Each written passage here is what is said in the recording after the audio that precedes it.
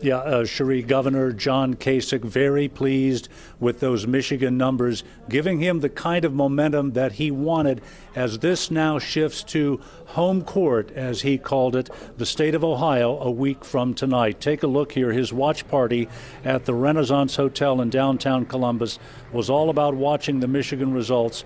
Kasich did well with those who decided late, according to the exit polling, and the mood here reflected a sense of a campaign that could be on the cusp of catching on nationally. Kasich telling hundreds here the strength of his team is positivity and that his campaign is moving into a position where he thinks America is beginning to hear that message.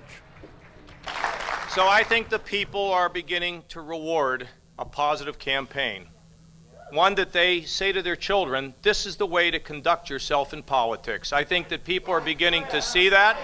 And secondly, and secondly, because of that, just wait one week from tonight, we are going to win the state of Ohio, and it will be a whole new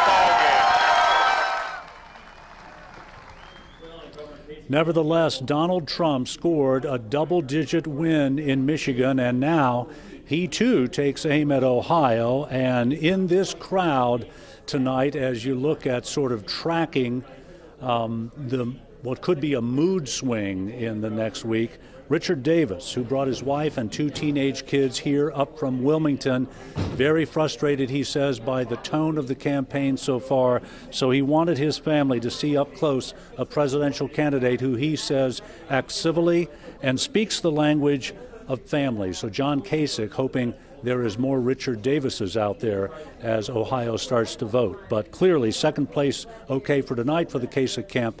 It won't cut it next Tuesday. Live in Columbus, John London, WLWT News 5.